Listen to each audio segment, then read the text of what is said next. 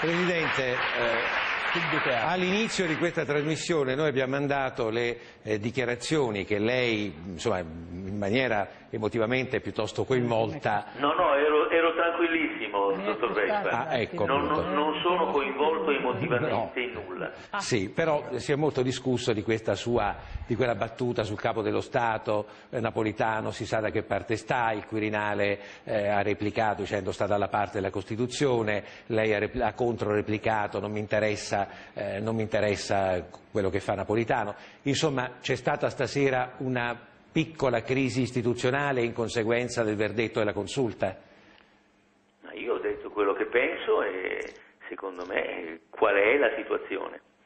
Per cui non ho nulla da modificare rispetto alle mie dichiarazioni che potrebbero anche essere più esplicite e anche più dirette. Per cui mi eh, rimango a quello che ho detto e questa è la situazione, punto e basta. La consulta si è contraddetta rispetto al voto di alcuni anni fa, aveva eccepito quattro punti di cambiamento di una legge che era stata respinta e proprio per questi quattro punti il Parlamento si è applicato, ha lavorato a lungo, commissioni e aule e ha modificato questi quattro punti secondo le richieste della consulta che trovandosi di nuovo a dover giudicare ha eccepito la incostituzionalità della legge che l'altra volta non era stata eccepita.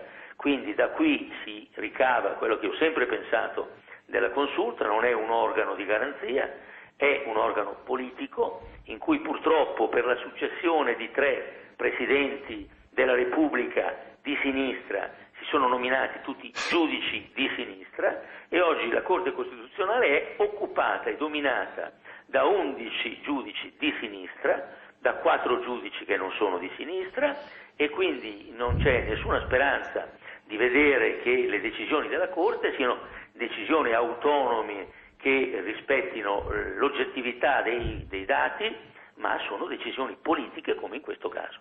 Presidente, ma che c'entra il Presidente della Repubblica con tutto Il Presidente questo? della Repubblica aveva garantito con la sua firma che questa legge sarebbe stata eh, approvata anche nei comportamenti successivi e quindi, dato la sua notoria influenza Su sui giudici di sinistra e sul giudice, Ma sul insomma, giudice ma no, ma non- che ha nominato lui, bastava no? che il capo dello Stato intervenisse con la sua nota influenza di tutti i capi dello Stato sui componenti della Corte e ci sarebbe stato un Sono spostamento di quei due voti che avrebbero Gravissime. fatto passare questa legge.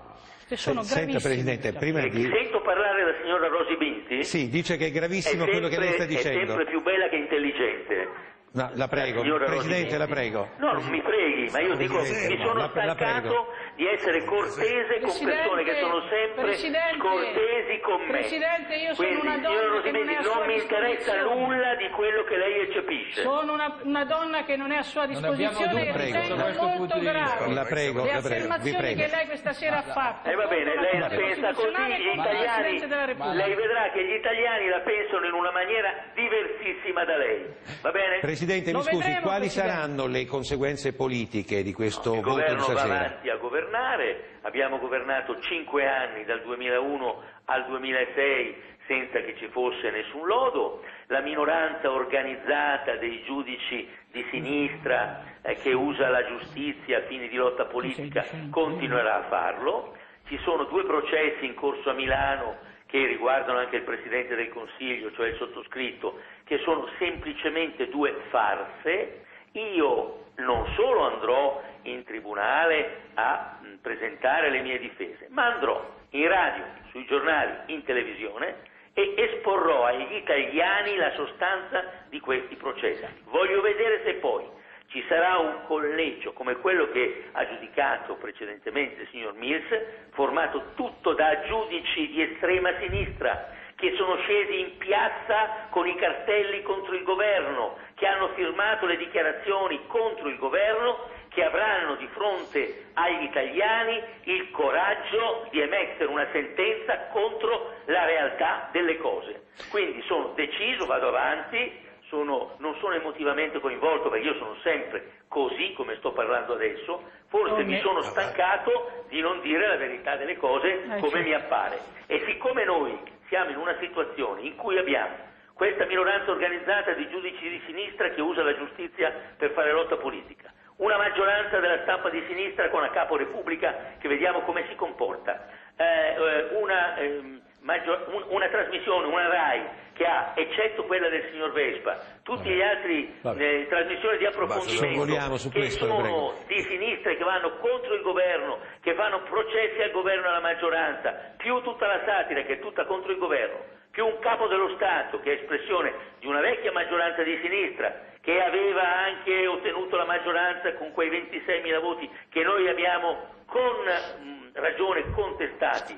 E oggi quindi e con una Corte che non è più organo di garanzia, ma è, è, è, organo politico dominato dalla sinistra, dico noi abbiamo il diritto di dire questo agli italiani, che sappiano che per fortuna ci siamo noi, qualcuno ha detto, e io ho ripreso la cosa, meno male che Silvio c'è, perché noi non permetteremo a questa sinistra di prevalere, non permetteremo che ribalti il risultato del voto, che sovverta il volere degli elettori e quindi noi continueremo a governare il Paese con la serenità di sempre, senza lasciarci eh, eh, assolutamente mettere eh, in timore da questa sinistra che si comporta usando queste armi che secondo me non fanno parte di una vera democrazia. In una democrazia il parere degli elettori, il voto degli elettori si rispetta, il governo e la maggioranza governano per gli anni di una legislatura che sono cinque, non c'è nessun diritto Ma da parte della sinistra di pretendere che un governo lasci contro una maggioranza di elettori che chi ha confermato in tutte le successive occasioni elettorali Sicilia, Roma, uh, Abruzzo, eh, Sardegna, elezioni europee, elezioni amministrative, di sostenere questo governo. Una domanda... Noi governeremo chi, chi da qui in avanti per tutti gli anni che restano senza farci intimidire da questa sinistra prepotente che attacca con armi che non sono della democrazia